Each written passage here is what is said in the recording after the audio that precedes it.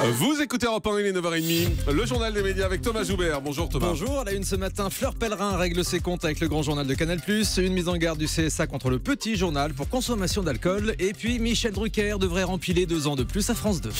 Et on commence avec Fleur Pellerin qui réagit après une séquence du grand journal filmée juste avant son éviction du ministère de la Culture. L'ex-ministre de la Culture et de la Communication avait été alpagué par le reporter Cyril Eldin qui a l'habitude de s'amuser avec les politiques, mais la séquence a été très critiquée, notamment par les invités présents sur le plateau du grand journal. On découvrait Fleur Pellerin un peu perdue dans l'attente du remaniement et agacée par les questions du chroniqueur. Écoutez.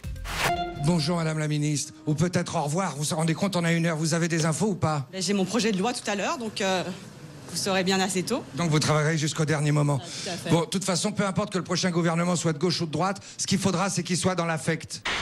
Oh, je vous dérange. Je sens que vous n'avez pas envie de me parler.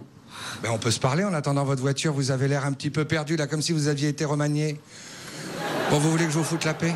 Ouais, je veux bien. Bah voilà, finalement, les, gens- les politiques, ils payent ce jeu avec Cyril Eldin qu'ils ont en permanence à vouloir euh, plaisanter, etc. Quand ça va pas, bah, ils, en, ils en souffrent de la même façon, donc tant pis pour eux. Exactement. Alors l'ex-ministre a réagi sur son compte Twitter au lendemain de la diffusion de la séquence, un message adressé au grand journal. Merci pour votre délicatesse. Cette séquence était un indispensable et édifiant décryptage de l'actualité.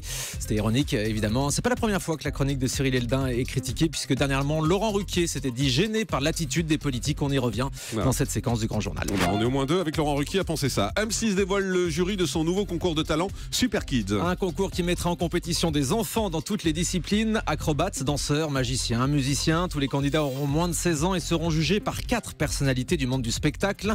Comme on vous l'avait déjà annoncé, il y aura la chanteuse Alizée et le patineur Philippe Candeloro, accompagné de la chanteuse Liane Folly et du producteur Gérard Louvain. Le tournage du premier prime de Super Kids est tourné aujourd'hui avec à la présentation Faustine Bollard et Stéphane Rottenberg. Euh, toujours sur M6, Norbert Tarrer devient juré de la meilleure boulangerie de France. Une quatrième saison de la meilleure boulangerie est actuellement en préparation et Norbert Tarrer remplacera l'artisan boulanger Contran Cherrier qui a préféré quitter le programme pour s'occuper pleinement de ses activités. Norbert Tarrer est un visage connu des téléspectateurs d'M6. hein. il a déjà participé à quasiment toutes les émissions de la chaîne. La nouvelle saison de la meilleure boulangerie de France devrait arriver à la rentrée prochaine.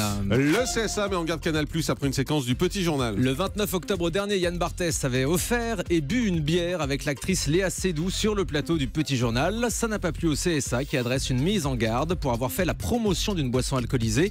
Pour le CSA, le Petit Journal a fait preuve de complaisance à l'égard de la consommation d'alcool. Les bouteilles de bière étaient posées en évidence sur le plateau. De plus, aucun message de prévention n'a été diffusé. Le conseil était déjà intervenu pour des faits similaires sur le plateau du Grand Journal. Le CSA intervient également auprès de D8 pour une séquence de Touche pas à mon poste. Le 17 novembre dernier, Cyril Hanouna avait diffusé en direct des images appartenant à TF1. L'animateur avait voulu faire vivre en direct la Marseillaise avant le match de foot Angleterre-France pendant son émission, moment très émouvant après les attentats du 13 novembre. Mais après une plainte de TF1, le CSA reproche à D8 de ne pas avoir respecté la législation en matière de droit d'auteur. La production assure s'être rapprochée de TF1 pour régler le conflit.